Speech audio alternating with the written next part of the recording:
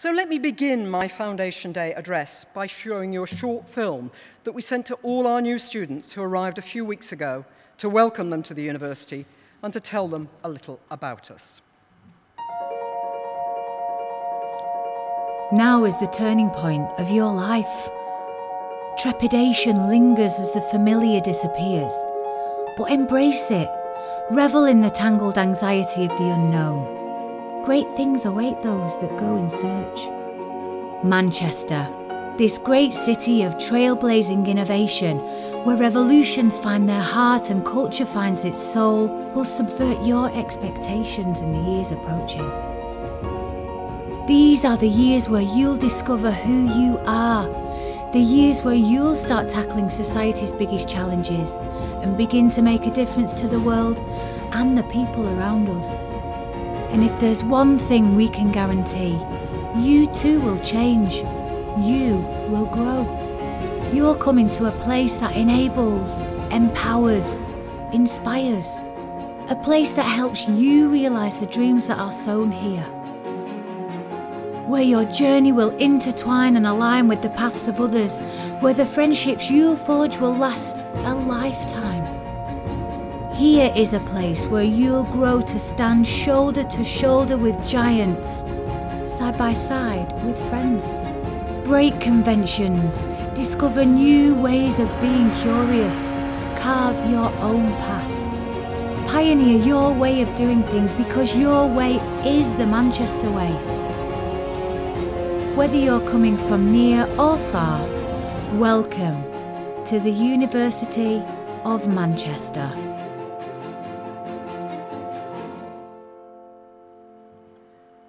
Sentence that particularly resonates from that film is a place where revolutions find their heart and culture finds its soul.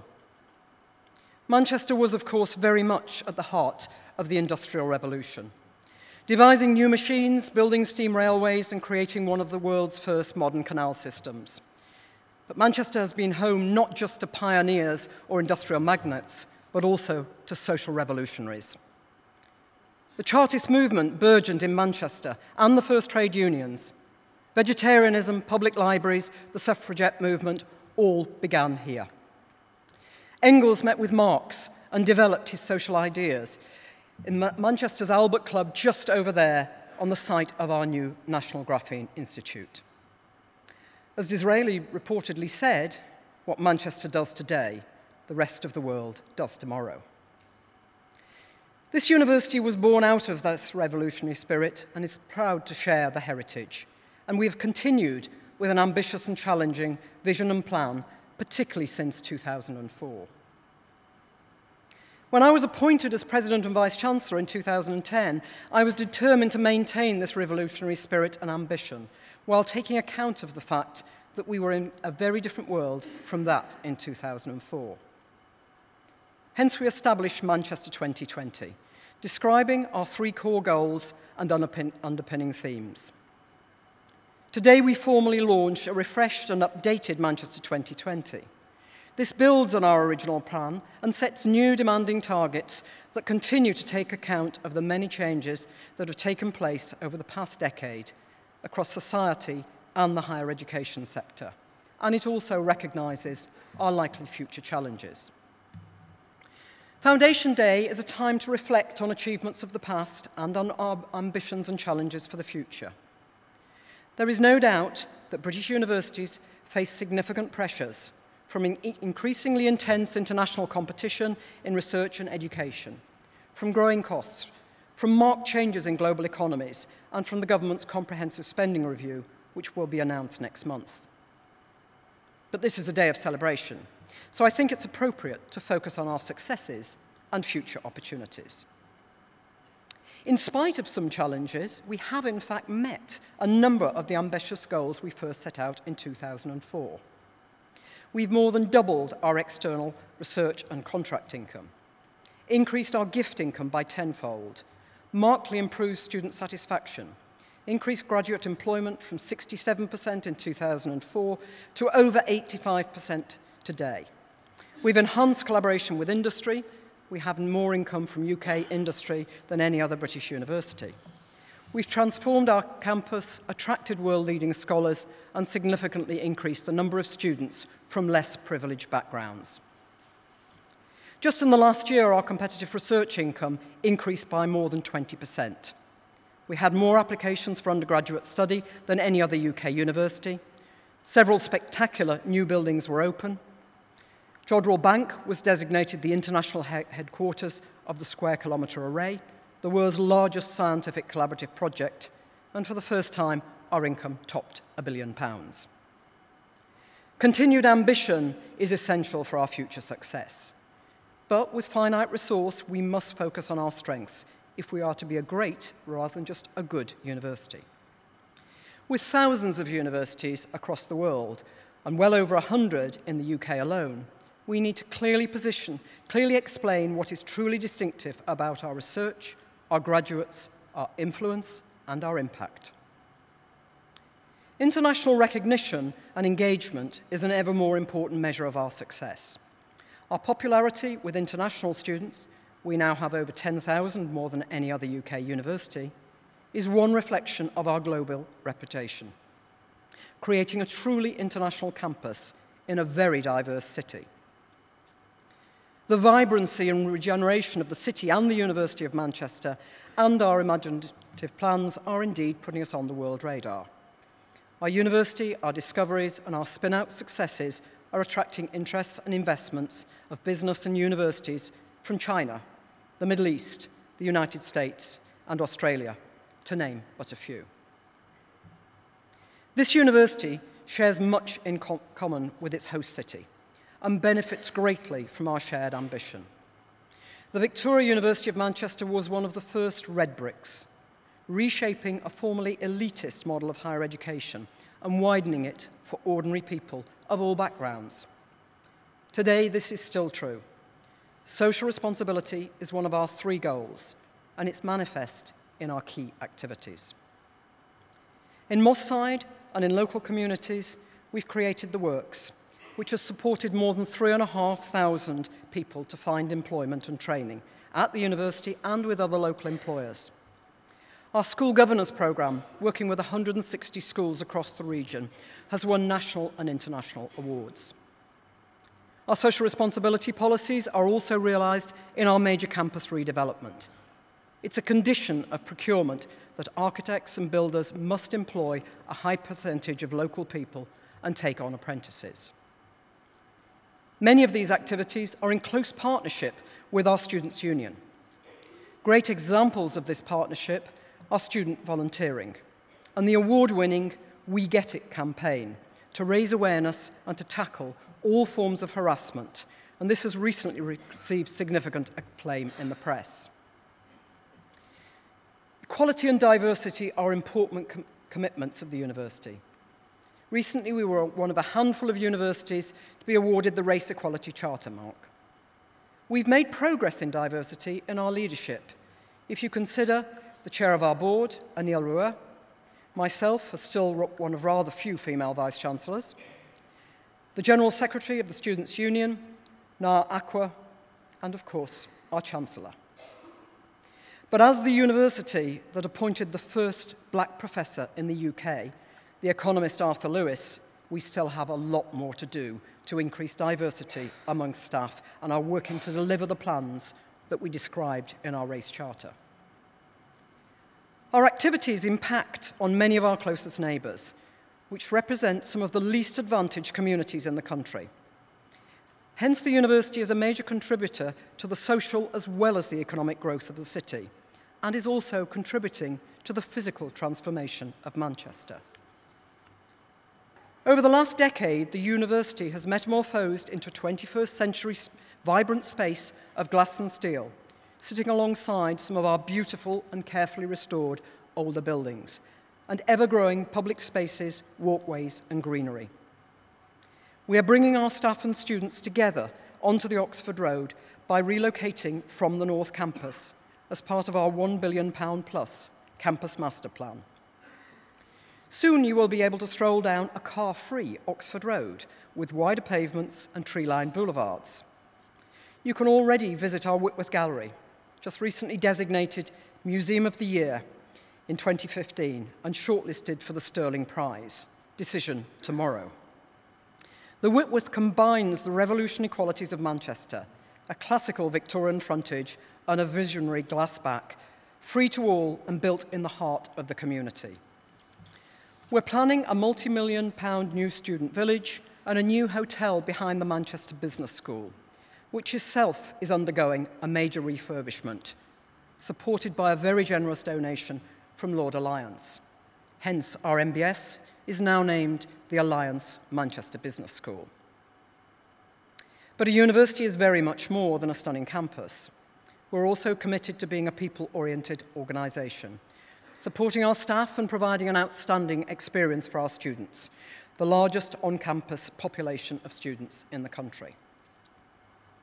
Our efforts have been rewarded with improved student satisfaction scores, but we still have more to do to achieve our aim of 90% satisfaction across all of our students. We're the most popular university for undergraduate study and the most targeted university by Britain's top graduate employers.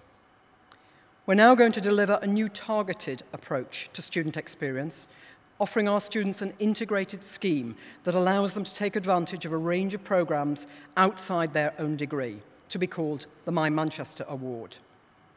This will include activities such as international study, social responsibility projects, training in leadership and entrepreneurship, volunteering and, and, and internships. So students will experience real-world challenges as soon as they join us. We believe that this will provide the ingredients to make the student experience at Manchester truly distinctive and transformative. When our students graduate, they become lifelong members of the university as they join our community of over 300,000 alumni across the world.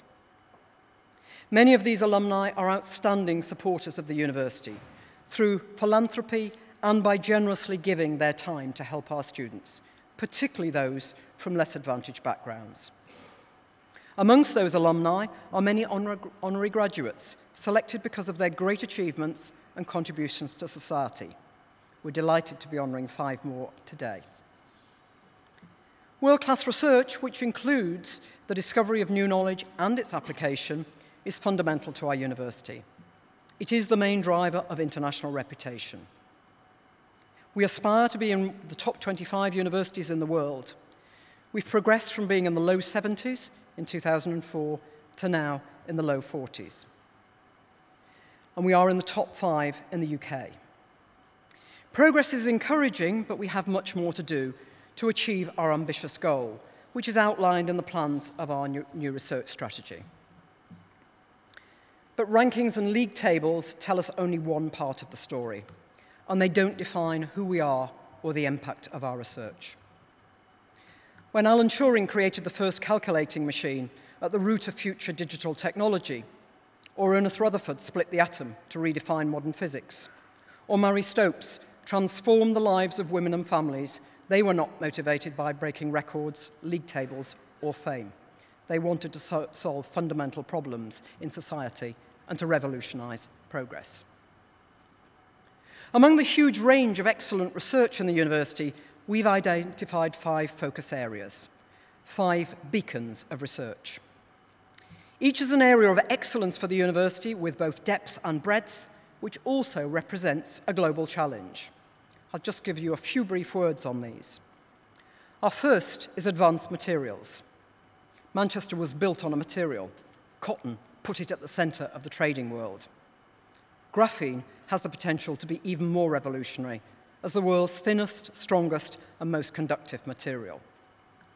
Andre Geim and Kostya Novoselov isolated graphene in Manchester and won the Nobel Prize in 2010. Its potential is huge in sensors, transport, filters, biomedicine, to name but a few. The National Graphene Lab Institute, a stunning super lab, has already stimulated public and private financing and attracted scholars from around the world. We're now building the Graphene Engineering Innovation Centre, the GEIC, with significant international investment. We were selected by BP as the home to their International Centre for Advanced Materials and have a renowned materials characterization facility. In December 2014, the Chancellor George Osborne announced a quarter of a billion pound investment in the Sir Henry Royce Institute for Materials and Research and Innovation to be based in Manchester but in close partnership with several other leading UK universities. The Chancellor described it as one of the most significant science centres in the UK. Our second and third beacons are also rooted in industry and innovation. They are industrial biotechnology and energy both appropriate for a city whose wealth came from steam that powered the cotton mills and the Liverpool to Manchester railway and ship canal. Our leading biotechnology centre is at the forefront of a European industrial renaissance, creating the next generation of chemicals, limiting dependency on traditional fuels and discovering new ways to understand complex systems. We excel in energy research, a fundamental global resource and a touchstone for conflict when its supply is in doubt. It is pressing that we find alternatives to natural resources that are being used up as populations and industries grow. Our experts are guiding the UK strategy and at our Dalton Nuclear Institute, researching a range of renewable energy sources and are working closely with the national grid on delivering energy. Our fourth and fifth beacons, cancer and addressing global inequalities, focus directly on people. Our new Manchester Cancer Research Centre building with the Christie NHS Foundation Trust and Cancer Research UK provides researchers with outstanding facilities for conquering cancer, one of the most pernicious diseases of the 21st century.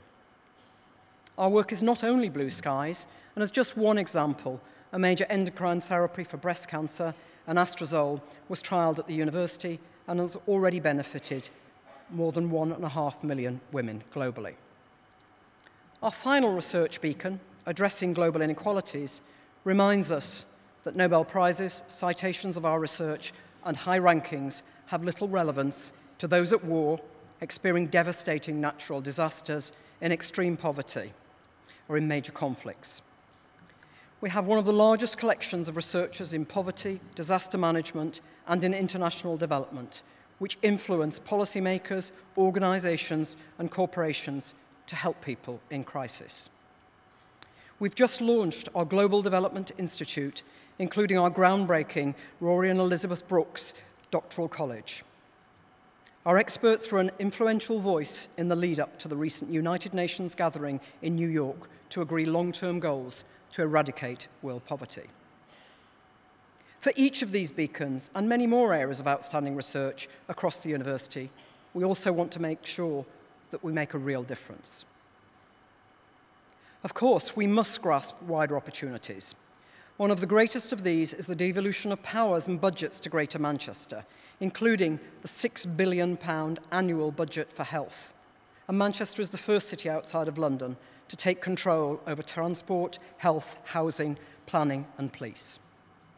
This is attracting great attention, bringing visitors and investors to the region and helping us to address the imbalance in health and wealth between many parts of the north of England and some parts of the UK.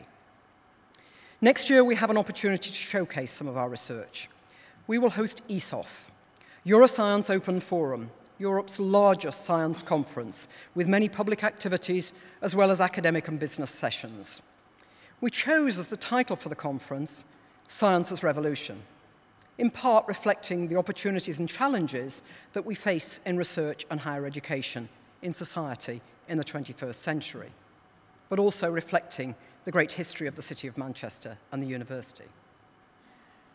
In the next decade, it's important to maintain far-reaching visions that are understood and shared with you, our supporters, and more widely. We must explain clearly what difference our education makes to our students – and what difference our research makes to the world with the passion and conviction of those early Manchester scholars and inventors.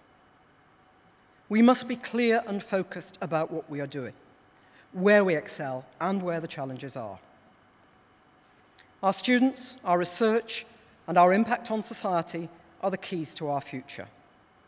A future that must build on the revolutionary spirit of this great city, on our own history of success, and on our founder's vision, but which also looks forward with ambition. Our very personality is defined by this revolutionary spirit, impelling us to find solutions to some of the world's greatest challenges, while at the same time meeting the wider needs of society. This is Manchester. Here we break convention, we forge revolution, we try our best to make a difference. Thank you.